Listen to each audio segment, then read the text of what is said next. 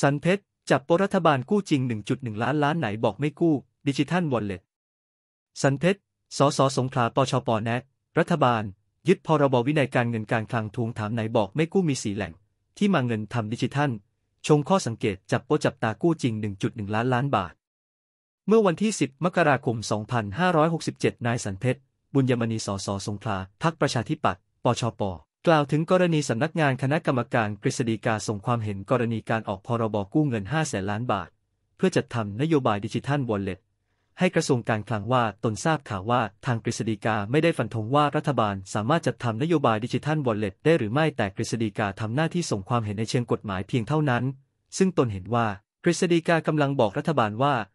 หากจะจัดทำนโยบายดิจิทัลวอลเล็ตต้องพิจารณาภายใต้กฎหมายใดเป็นพิเศษ ทั้งนี้ตนเห็นว่านโยบายรัฐบาล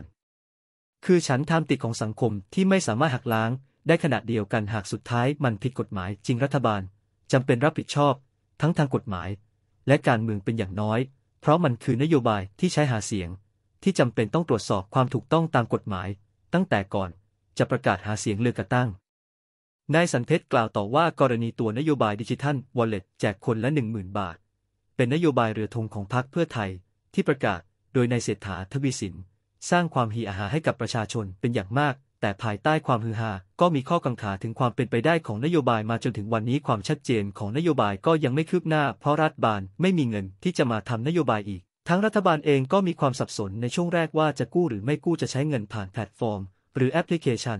ซึ่งรัฐบาลเองก็ยังไม่มีความชัดเจน โดยนโยบายดิจิทัลวอลเล็ตที่พรรคเพื่อไทยได้ยื่นไว้กับกกตตามมาตรา 57 แห่ง พระราชบัญญัติประกอบรัฐธรรมนูญว่า ด้วยพรรคการเมืองพุทธศักราช 2560 เรื่องของการกำหนดนโยบายของพรรคการเมืองที่ต้องให้จ่ายเงินพบว่า เป็นมาตรการกระตุ้นเศรษฐกิจผ่านกระเป๋าเงินดิจิทัล วงเงิน 560,000 ล้านบาท ซึ่งที่น่าสังเกตคือที่มาของเงินที่จะใช้ในการดำเนินการโดยจะมาจาก 4 แหล่ง คือ 1. รายได้ที่รัฐจัดเก็บได้เพิ่มขึ้นในปี 2567 จำนวน 260,000 ล้านบาท 2. ภาษีที่ได้มาจากผลคูณต่อเศรษฐกิจจากนโยบาย 1 0 0 0 0แล้านบาท 3. การบริหารจัดการงบประมาณ 1 1 0 0 0 0 ล้านบาท 4. การบริหารงบประมาณที่ซ้ำซ้อน 90,000 ล้านบาท ซึ่งไม่มีเรื่องของการกู้จึงหมายความว่านโยบายนี้ จะสามารถดำเนินการได้ โดยใช้เงินที่มีอยู่แล้ว โดยไม่ต้องสร้างภาระให้กับประเทศเพิ่ม ผมขอตั้งข้อสังเกตว่าการทำนโยบายนี้ หากรัฐบาลจะดึงดันให้สามารถดำเนินการภายในปี 2567 เท่ากับรัฐบาลนายเศรษฐาจะต้องกู้เงินถึง 1.1 ล้านล้านบาท เพราะเมื่อสัปดาห์ที่ผ่านมาสภาผู้แทนราษฎร ได้พิจารณางบประมาณรายจ่ายประจำปี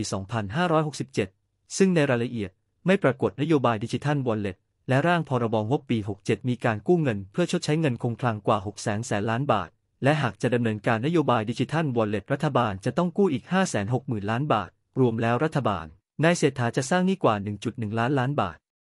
ทั้งนี้การกู้เงินของรัฐบาลจะต้องเป็นไปตามพรบวินัยการเงินการคลังของรัฐ อย่างเคร่งครัด โดยเฉพาะมาตรา 53 มาตรา 6 มาตรา 7 และมาตรา 9 ที่ระบุไว้ว่า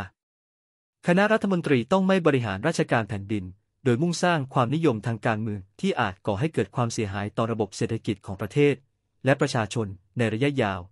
หากพิจารณาเรื่องของหนี้สาธารณะคงค้างณเดือน พฤศจิกายน 2566 รัฐบาลมีหนี้สาธารณะคงค้างอยู่ที่ 11 ล้านล้านบาท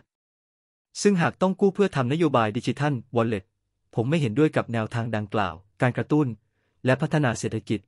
ระยะยาวมันมีอยู่หลากหลายแนวทางหลายแนวทางมันนำไปสู่การสร้างงาน สร้างอาชีพการฝึกทักษะใหม่ๆในการประกอบอาชีพ การลงทุน ด้านโครงสร้างพื้นฐานและอื่น ๆ ความท้าทายของรัฐบาลหรือพรรคเพื่อไทย คือมาตรฐานนโยบายการเมืองกับความถูกต้องทาง กฎหมายและจำเป็นต้องกลับไปสู่จุดเริ่มต้นของนโยบายที่ให้ไว้เป็นสัญญาประชาคมว่าดิจิทัลวอลเล็ต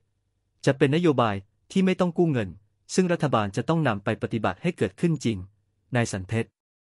กล่าว